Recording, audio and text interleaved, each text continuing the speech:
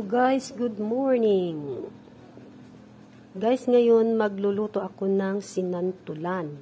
Ayan ang mga ingredients niya.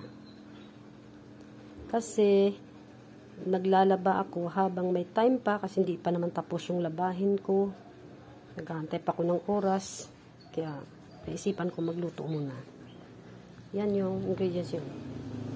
Sili, bawang, sibuyas, luya, at saka tawag ito tanglad sa amin tawag dito eh. Baboy. Yan. Of course, gata. Pangalawang gata. Unang gata. Hmm. Tsaka ang pinaka niya, yung santol. Yan. Ayan. Gusto kasi kumain ng anak ko, kaya sige, magluto tayo. Nakalimutan ko guys, ito pa oh. Yung bagoong. Ayan. Hmm. Yan, ginisang bagoong.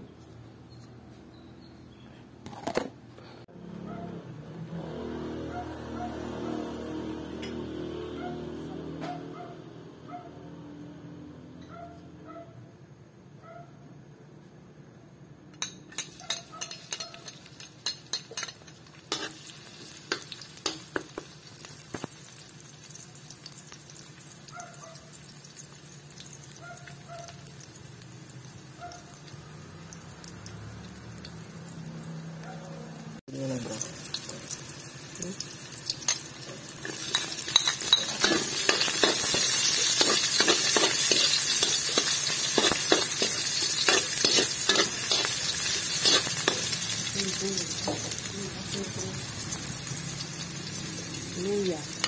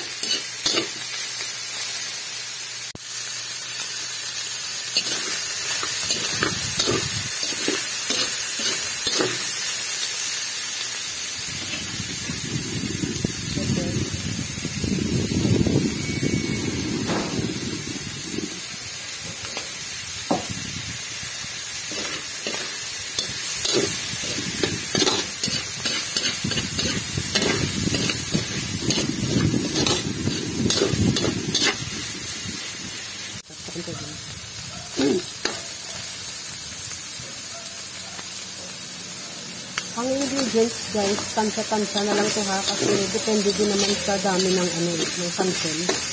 Yung baboy na nilagay ko kalahating kilo. Kasi sa iyo na rin yun kung damihan nyo.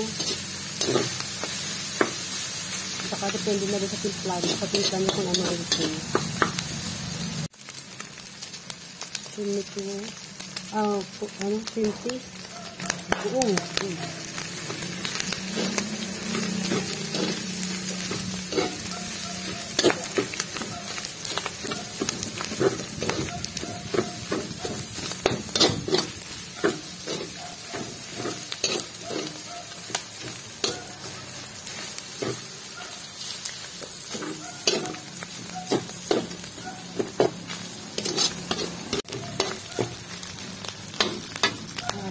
Hmm. Lagyan natin yung santol.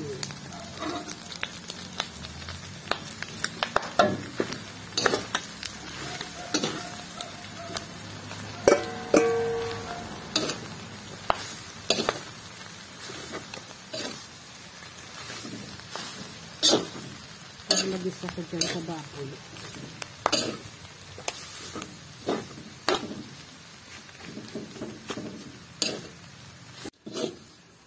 Yan ito ating palang, pangalawang gata. O yan. Para maluto ang sa dyan.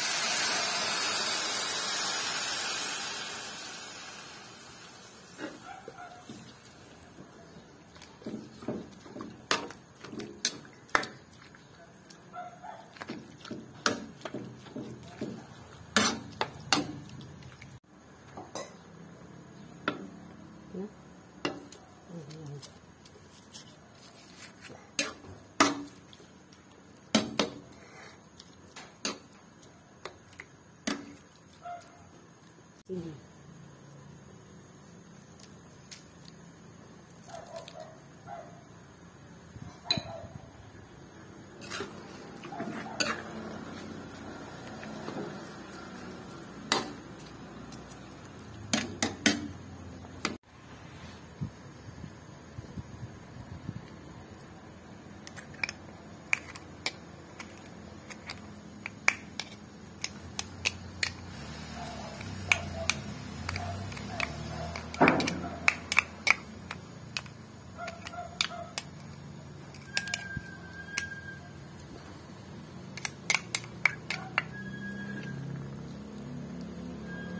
Mag-aaral-halo lang naman dyan siya na may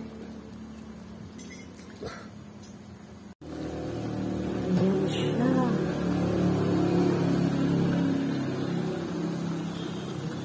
Nangangamoy ng santo. Masarap. Ang bango. Unang gata pa lang yan guys ah. Niluluto ko sa unang gata.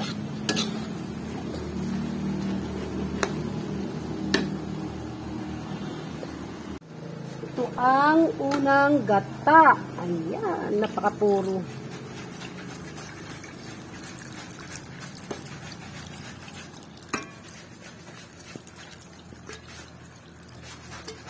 Masarap pag maraming gata.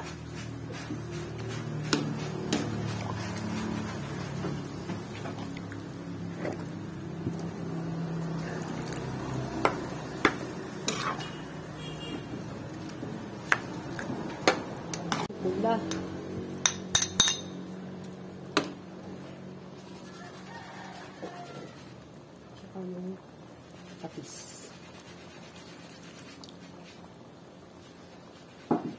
Dagdagan pa natin ng pepper. Mas masarap. Maraming ano.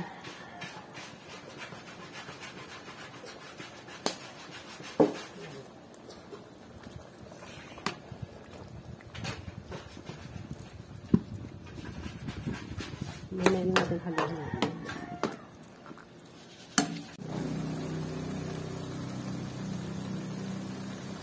Marami siya. Apat na tablespoon ng asukal.